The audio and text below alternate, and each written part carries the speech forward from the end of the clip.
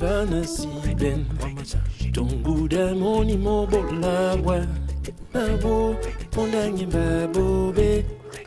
Ibulanjo masi Bini yende mba mongo kawudu Yene mbolo ebukinde bwemba wo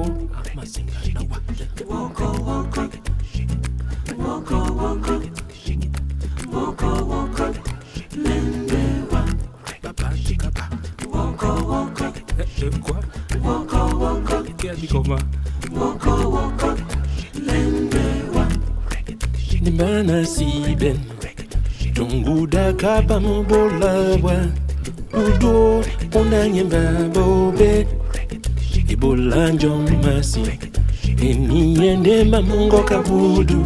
Yene bolo ebukinde bwembabo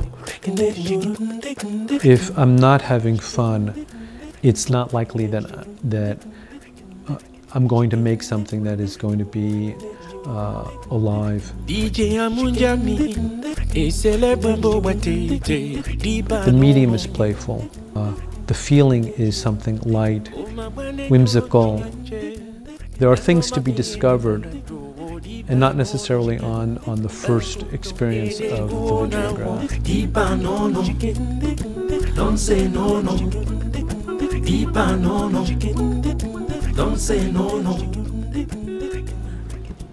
Understanding that relationship between the the horizontal and the vertical or the depth access is really critical to make a, uh, a credible three-dimensional drawing or painting.